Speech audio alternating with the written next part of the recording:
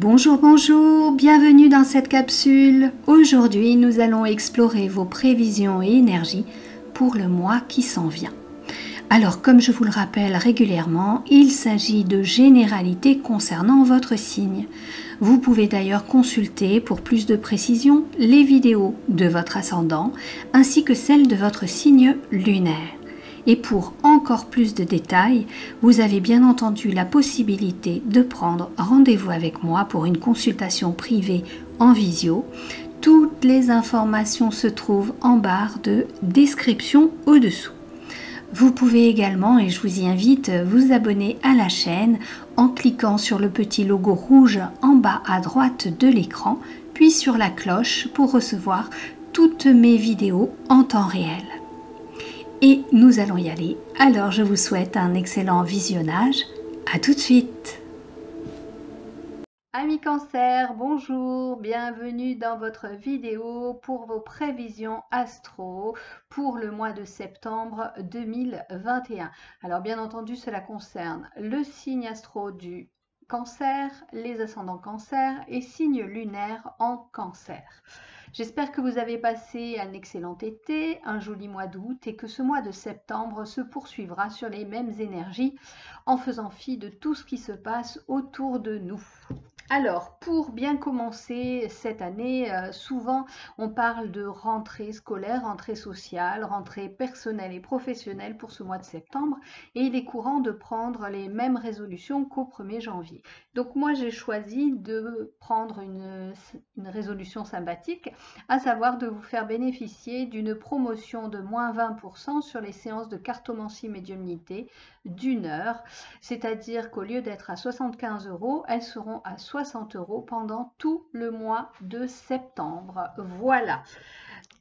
Allez, on y va tout de suite pour vous, les cancers, avec l'oracle du voyageur sacré. On va voir un petit peu quelle va être la tonalité de votre mois de septembre. Allez, pour tous les signes influencés par le cancer pour ce mois de septembre. Hop là, là, là. Il y en a trop qui tombent. Elles sont trop grandes pour mes petites mains. On va les étaler. Voilà. Allez, une au hasard. Je prends ici, tiens, pour une fois. Voilà. Toujours tendance à prendre sur la gauche. Alors, on va prendre sur la droite. Et on découvre accéder au pouvoir. Votre force est incommensurable. Voilà. Alors, que me dit cette carte? Qu'est-ce qu'elle me dit ces vibrations? Alors, tout de suite, j'ai le mot souveraineté qui vient. On parle d'un pouvoir personnel, pouvoir euh, de décision sur soi, dans son existence, pouvoir de choix, le libre arbitre. Voilà ce que l'on me dit. On me dit également... Euh, que longtemps vous avez cru devoir laisser votre pouvoir dans les mains ou dans l'esprit de quelqu'un d'autre, euh, vous avez suivi quelque part les décisions d'autres personnes comme si vous ne vous en sentiez pas capable et que vous avez besoin d'être épaulé. Eh bien, en ce mois de septembre, vous allez changer de comportement et par la force des choses, vous allez vous rendre compte que vous êtes tout à fait apte à vous imposer, à imposer votre souveraineté, votre décision, votre pouvoir de décision. Et c'est ainsi que vous allez un petit peu vous affranchir euh, de cette soumission, entre guillemets, hein, euh, que vous pouviez avoir dans votre, vie personnelle et professionnelle.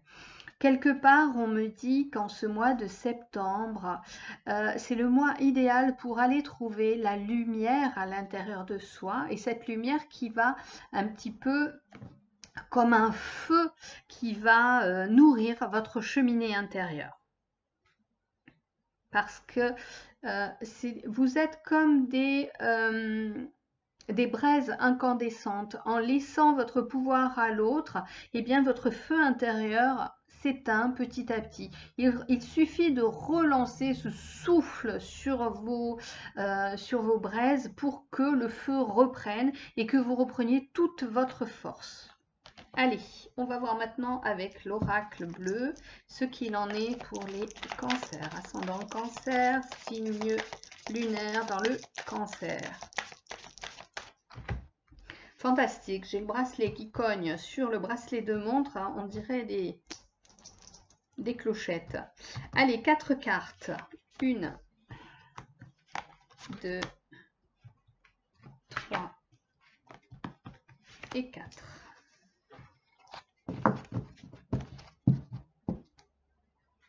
Alors, on découvre le conquérant. On est vraiment sur, euh, regardez, sur la reconquête de vous-même. La mer, ça vous va très bien, vous. Signe d'eau. L'hiver. Alors, hop, voilà, comme ça vous la voyez mieux. Et la dernière, le sacrifice. Alors, analysons ces quatre. Donc, je reviens sur euh, ce fameux conquérant. Euh, c'est vrai que vous, les cancers, vous êtes un signe tout en douceur, un signe, j'enlève la montre hein, parce que ça va m'agacer. Vous êtes le premier signe que je fais de la journée. J'y arrive pas, c'est fantastique. Ça résiste, ça résiste. Voilà, on y est. Alors, euh, je reviens sur cette notion de reconquérir son pouvoir, sa force intérieure.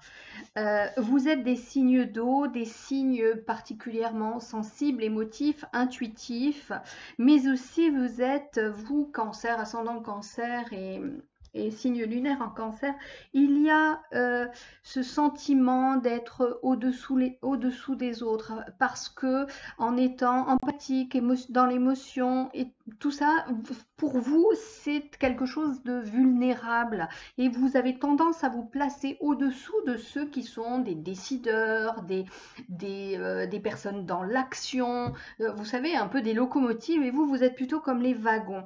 Et eh bien là, vous allez vous rendre compte que cette sensibilité, cette émotivité, cette empathie, eh bien, c'est un trésor. Un trésor et ça peut être aussi une arme. Pourquoi une arme? Enfin, je m'entends, une arme entre guillemets. C'est pas une arme létale, c'est quelque chose, un outil, on va dire. Voilà, c'est un outil qui est euh, qui vous permet d'avancer dans la vie avec votre sensibilité, cette sensibilité accrue qui vous permet de discerner les choses et de naviguer un petit peu. Vous savez, comme les poissons, les bancs de poissons, euh, ils ont une capacité, euh, ils ont un sonar qui fait que quand il y en a un qui prend, hop, la tangente, et eh bien tout le monde suit. Et eh bien, c'est la même chose. Votre hypersensibilité va vous permettre de sentir les choses et de vous guider de la bonne façon sur le bon chemin. Euh, il semblerait qu'en ce mois de septembre, vous fassiez, euh, euh, vous fassiez, euh, comment dire, vous soyez face à une certaine froideur de la part des personnes qui vous entourent, comme si justement on vous prenait pour la petite chose fragile qu'il ne faut pas abîmer. Pour autant, ça ne les a pas dérangés pendant un certain temps de vous sacrifier sur l'autel de leur ego, à savoir que c'était eux qui avaient le pouvoir et vous, vous étiez l'être soumis. Et là, ils se rendent compte que finalement, il y a des ressources, il y a des potentiels bien cachés chez vous qui sont en train de remonter à la surface et que peut-être vous n'allez pas vous sacrifier pour eux, mais euh, jouer des coudes pour reprendre votre place et les remettre à la leur. Voilà ce que l'on me dit. Il y a de la bataille en douceur pour reprendre votre place en ce mois de septembre tout en douceur, hein, comme le poisson qui navigue comme ça, sans faire de remous, eh bien vous allez, vous allez en faire de même. Pour certains, euh, il est temps de prendre des vacances parce que vous ne les avez pas encore prises et vous commencez à ressentir une grande fatigue, comme si vous étiez à la fin aussi d'un cycle et que euh, vous, je vous vois en burn-out pour certains. Euh, vous avez longtemps usé vos énergies dans quelque chose qui ne vous mène à rien. Alors j'en ai parlé pour un autre signe, je vous avais demandé pour les autres d'aller euh, chercher dans, le net, sur YouTube ou euh, sur Internet tout simplement, le cycle de Hudson, qui est un cycle qui, euh, qui, nous parle de saisonnalité. Alors, on a des saisonnalités dans notre existence. On a le printemps, l'été, l'automne et l'hiver. les personnes âgées en fin de vie sont dans l'hiver, si vous voulez comprendre. Et le printemps, c'est plus pour le nourrisson, le bébé, le petit enfant. Mais nous avons aussi cette saisonnalité dans nos cycles de vie. Et pour vous, avec cet hiver, on est sur la fin de quelque chose. Vous savez, en hiver, tout s'achève, tout hiberne, tout s'endort avant de renaître au printemps. Eh bien, il semblerait que vous êtes sur ce cycle, sur une fin de cycle pour vous, une fin de cycle où vous étiez dans le sacrifice de vous-même, pensant que vous valiez peut-être moins que les autres. Donc, prenez ce temps du mois de septembre pour vous poser. Ok, on arrive à l'automne, mais là, je vous parle d'un cycle personnel avec l'hiver vous vous reposez avant de repartir sur de nouveaux projets, de nouvelles bases. Vous avez besoin peut-être même d'apprivoiser euh, ce pouvoir que vous aviez trop longtemps laissé aux autres. Vous avez besoin de réapprendre à manier cet outil qui peut être bien entendu votre vulnérabilité, votre sensibilité. En fait, la vulnérabilité est une force. Dès lors qu'on en prend conscience, eh bien, euh, on s'ouvre à un nouveau champ des possibles parce que percevoir, ressentir avec son corps, avec tout son être, euh, accepter d'avoir des intuitions, eh bien, ça permet d'accepter la guidance de l'invisible. On va voir maintenant avec la triade, quatre cartes pour recouvrir les précédentes. Oups là. Alors, j'en ai une qui est tombée. Elle est tombée, retournée. On va la prendre, ça sera la première. C'est le saut, l'officialisation de quelque chose. Donc, elle vient en plus, regardez. Elle vient se positionner sur le conquérant. Donc vraiment, vous allez prendre conscience de votre force intérieure. Allez, les suivantes, une dessus, une dessous, et la dernière. Donc sur la mer, nous avons, ça change de couleur, c'est pénible. Euh, la mer, nous avons les doutes, les doutes, les questionnements, les ruminations, les remises en question, le bilan aussi. Sur l'hiver, nous avons la méditation. Alors, je vous disais, il faut que je la penche pour que vous la voyez bien, elle est très claire. Euh, la méditation, je vous parlais d'un temps d'hibernation, d'introspection. On a la confirmation avec cette carte. Voilà, sur le sacrifice, vous avez le choix. Je vous analyse maintenant tout ceci. Donc, effectivement, il y a euh, une officialisation. Alors, ce n'est pas vraiment une officialisation avec des papiers écrits, signés, mais quelque part, vous revenez à votre contrat d'âme, à qui vous devez être en cette existence. Donc oui, c'est aussi une officialisation et une reconnaissance de vos missions d'âme, hein, parce qu'il n'y en a pas qu'une, de ce que vous avez à faire en cette incarnation. Vous prenez enfin conscience de vos potentiels, de vos ressources pour vous diriger dans cette vie, faire les bons choix avec la force que vous avez en vous et que trop souvent vous avez négligée. Il y a eu beaucoup de doutes et qui ont fait peut-être que comme ces poissons, vous avez évité les esclandres, vous avez évité les problématiques. Vous savez, le poisson, il fait comme ça, hein, il godille un petit peu avec sa nageoire caudale pour éviter de trop faire de remous. Eh bien, euh, toutes ces questions qui, étaient en suspens, vous allez pouvoir maintenant les affronter avec euh, lucidité.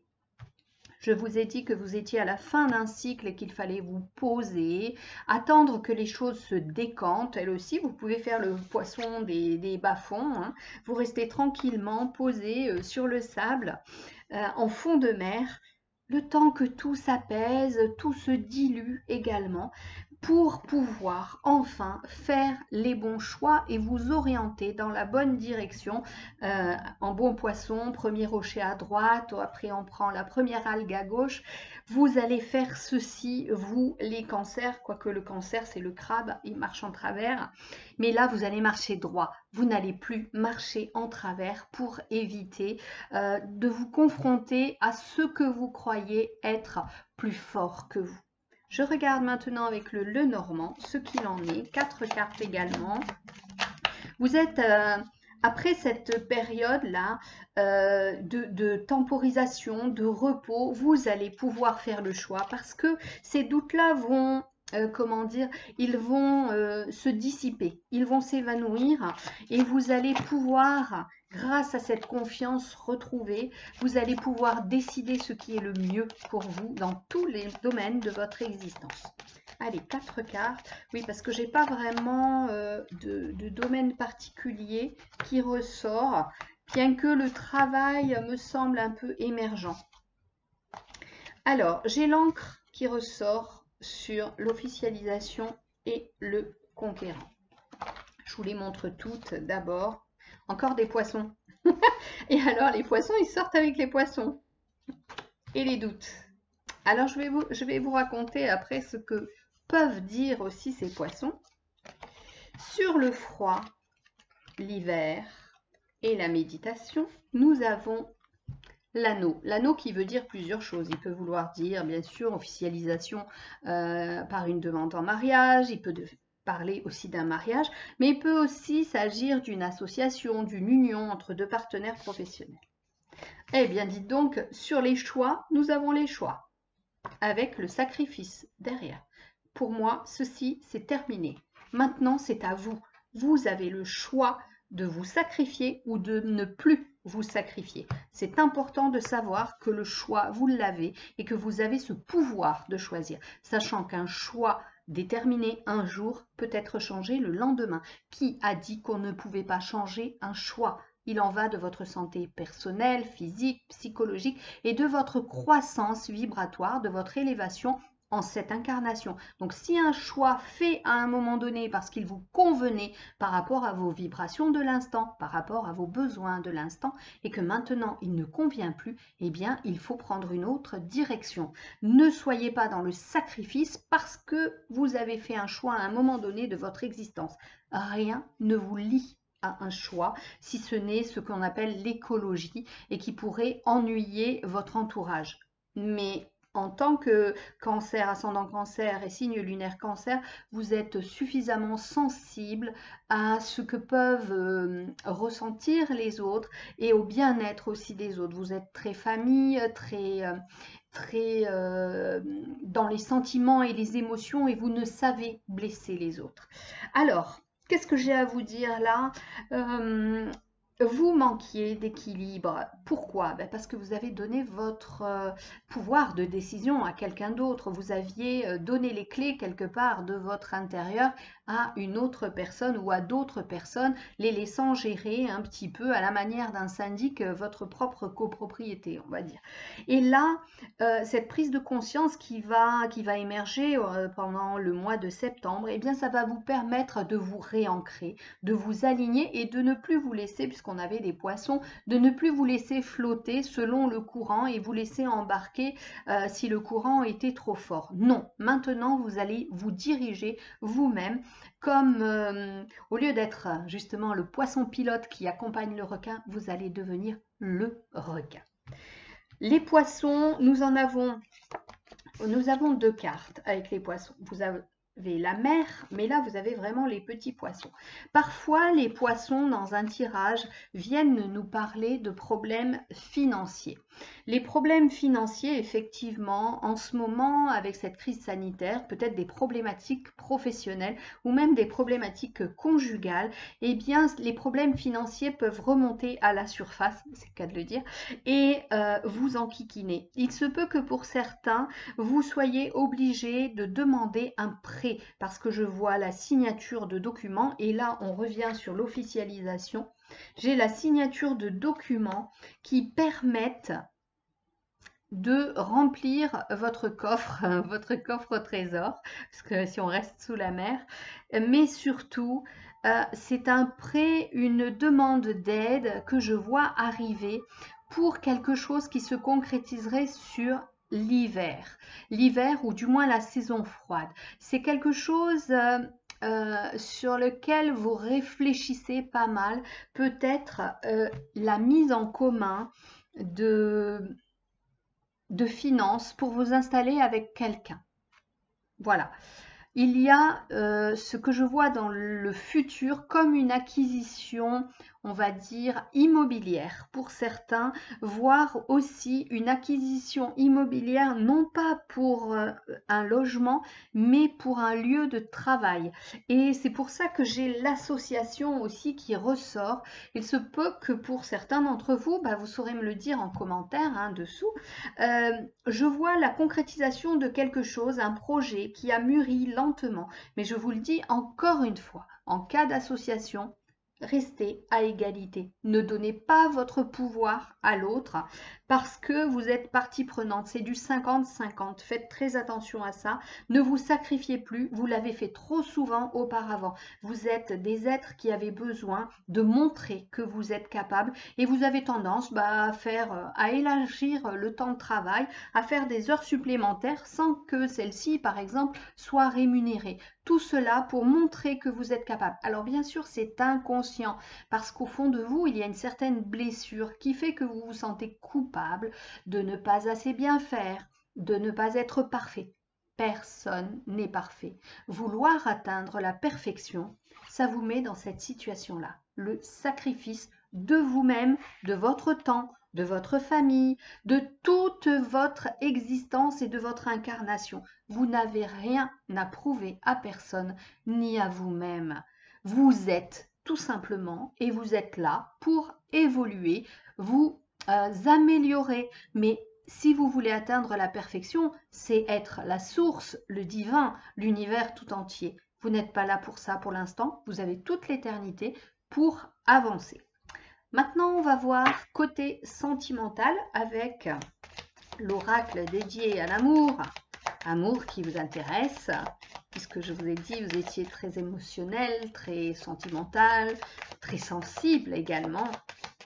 Allez, quatre cartes pour les cancers, ascendant cancer et signe lunaire cancer.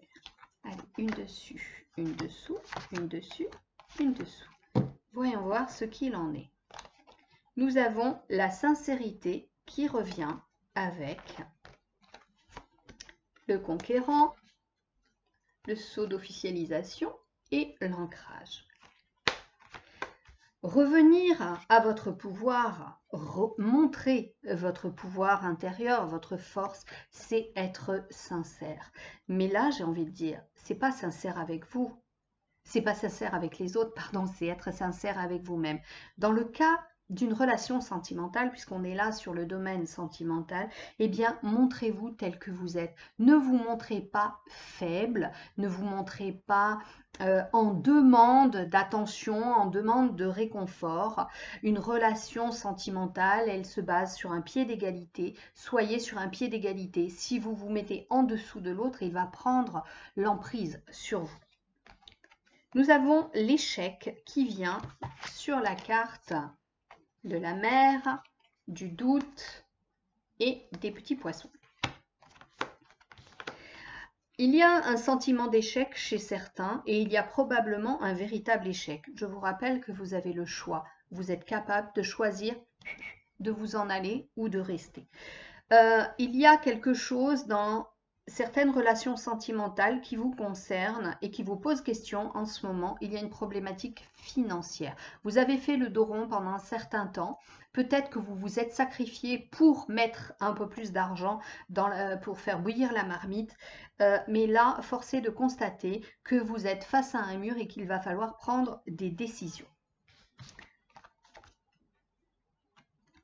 Les projets. Alors, je vous avais parlé de projets, effectivement. Alors, nous avons l'hiver. Décidément, cette carte, on ne la voit bien que si je la penche. La méditation, la bague. Et nous avons la carte des projets. Je vous ai dit qu'il y avait comme une concrétisation, quelque chose qui allait se faire sur la fin de l'année. Et il est possible que vous en parliez déjà en couple pendant ce mois de septembre. Quelque chose qui se concrétiserait sur les, mois froids. Alors ça peut être un mariage, ça peut être un pax. Vous êtes dans la réflexion en tous les cas et vous faites des plans sur la comète. Alors, si je vois dans ce sens-là, nous avons la sincérité, l'échec et les projets. Pour certains qui ne sont pas en couple, eh bien, il se peut que euh, vos histoires passées, elles ne se soient pas faites en toute honnêteté. Alors, honnêteté de votre part ou honnêteté de la part de, l'autre, euh, du partenaire. Et bien entendu, cela vous a conduit à une situation d'échec. Pour renversez cela, montrez-vous tel que vous êtes dès le départ. Ne soyez pas l'image parfaite, l'image de catalogue, de papier glacé que l'autre voudrait que vous soyez. Soyez vous-même, en toute honnêteté. C'est ainsi que vous, ne tromperez pas l'autre et que vous ne vous tromperez pas dans la relation, où ça passe, où ça casse. L'autre doit vous accepter tel que vous êtes, ok Et non pas tel qu'il voudrait que vous soyez. C'est ainsi que vous pourrez faire de véritables projets qui seront solides. Dernière carte, nous avons la fragilité. Alors cette fragilité, elle est sur la colonne où nous avons le sacrifice et les choix. Je vous l'ai dit depuis le début, votre vulnérabilité, ce que vous pensez être une vulnérabilité, c'est votre sensibilité, votre, euh, votre émotivité, votre perception, votre intuition, peut-être même votre imagination, et j'irai jusqu'à l'interprétation de certaines situations par rapport à ce que vous avez vécu auparavant. Ceci est effectivement une fragilité si vous interprétez à votre sauce, avec vos expériences passées, avec vos lunettes et vos filtres, ce qui se passe dans la réalité. Lâchez, lâchez tout ça, vivez l'instant présent en toute sincérité. Vous avez de la force. Ce que vous avez vécu auparavant n'est pas ce que vous vivez maintenant. Mais ce que vous avez vécu auparavant vous a donné une certaine conscience de la vie et vous a appris. C'était des leçons, des apprentissages que vous avez rencontrés. Donc la fragilité, elle n'est plus là. Vous avez le choix d'être puissant et d'être fort dans toute relation. Pour les célibataires, le temps de pause, là, puisqu'on avait cette période de froid, d'introspection, où il ne se passe pas grand-chose, beaucoup de questions, peut-être des questions par rapport à ce qui s'est passé auparavant, des ruptures, des histoires qui se sont terminées, un peu qui ont tourné en eau de boudin, eh bien, il est temps pour vous de faire le bilan, bilan de ce qui s'est passé auparavant pour repartir, mais de façon puissante en vous affirmant dans une relation.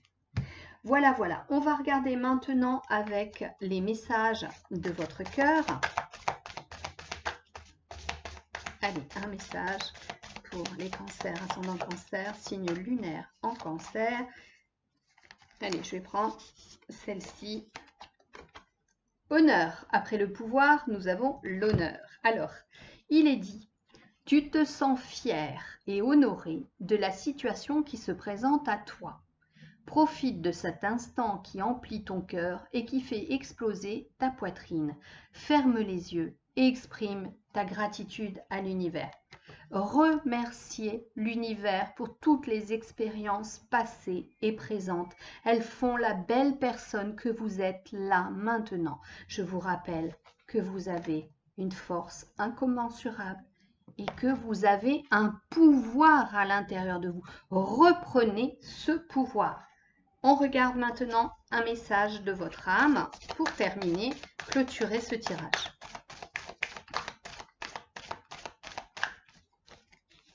Allez, celle-ci. Laissez mourir.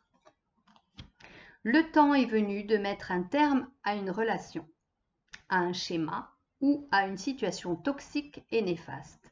Laisse la vie t'éloigner de ce tourment, fais de la place dans ta vie et dans ton quotidien pour un renouveau. Alors, effectivement, on a l'échec qui est là. C'est peut-être suite à ceci.